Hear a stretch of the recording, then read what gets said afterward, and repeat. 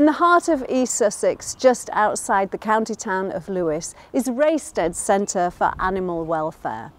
Raystede was started in 1952 by Miss Raymonde Hawkins and since then they've been rehoming and giving sanctuary to thousands of animals, rehoming 7,000 animals in the last five years alone. What makes Raystede unique is the team of people, both staff and volunteers, working with the animals. When you come to adopt an animal, you may be surprised at what you see. This is the kennels block where there are up to 30 dogs at any one time. But what makes this such a safe and comfortable place for the dogs? So the kennel design is specifically laid out to ensure that the dogs can see their friends but aren't directly looking at them and feeling confrontational. There's plenty of space. And we also ensure that the volunteers and the staff meet their physical needs as well as their emotional needs whilst they're with us. There's a perception that dogs coming here are somehow discarded or problematic, but that's not the case at all, sometimes quite the opposite. Most of the dogs who come into Raystede do so because of a change in the circumstances of their previous owner. These dogs ultimately, they've come from a home where they've been well cared for. There are a few cases of dogs that come in either as unclaimed strays or as welfare cases that haven't experienced a good life previously and then they really do deserve to find a loving home.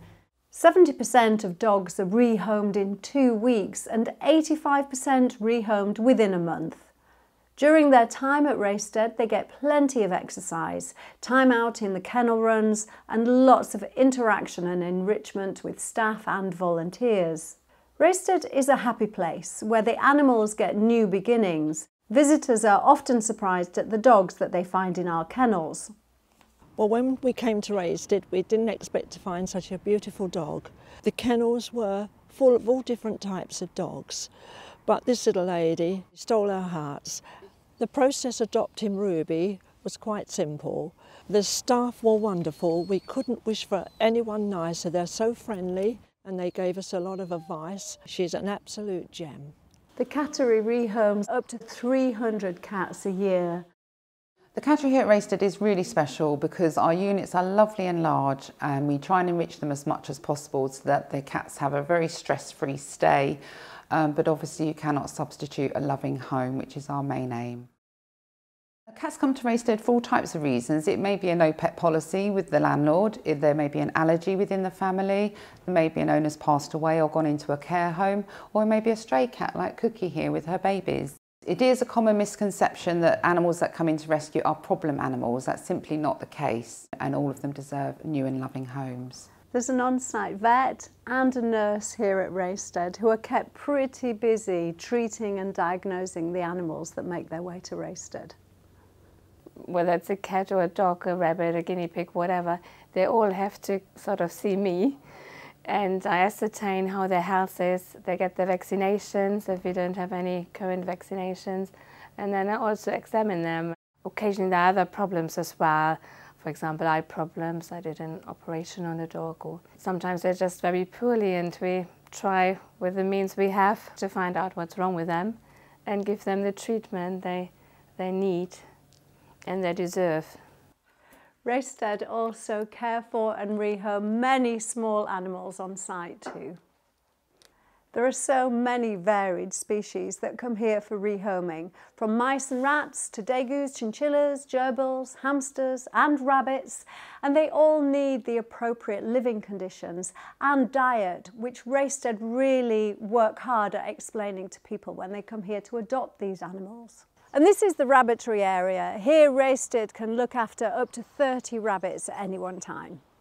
They all have a lawn area too. Each lawn is dug down and reinforced so the rabbits can exhibit their natural behaviour of digging but not actually escape. When you think about how rabbits live in the wild, they live in warrens in large groups and what we're trying to make sure is that all the animals we home also go in at least pairs or groups to try and replicate their natural behaviour. Rabbits that aren't matched properly can become quite aggressive towards each other. So that's why we here at Raystede offer a bonding service so that we can hopefully get that right on mutual territory and make sure that they all get on really, really well under controlled conditions. Egg-laying hens are often slaughtered at 72 weeks. Raystede go to a farm where the hens are due for slaughter and rescue as many as they can. These beautiful girls are still laying and Raystede give them a second chance at life by rehoming them to caring and loving homes, allowing them to live a truly free-range existence, letting them live the lives they really deserve. The sanctuary is home to hundreds of wildfowl that fly in and stay for as long as they wish. Aviary birds, including parrots, are not rehomed. There are goats, sheep and alpaca also here for the rest of their days. A herd of horses, ponies and donkeys. And chelonians, that's the collective name for tortoises, terrapins and turtles. Raystede makes animals' lives better. It's an inspirational centre full of humans who care and love the animals. However, there's no substitute for a real home where they're part of the family. So they do their very best to find the perfect home for the animals that arrive at the door. You'll enjoy your visit walking the 43 acre site here in East Sussex and maybe meet some animals that you weren't expecting to see. And perhaps, maybe, you'll meet your forever friend. If you'd like to rehome a Raystede animal, please go to www.raystede.org forward slash adopt.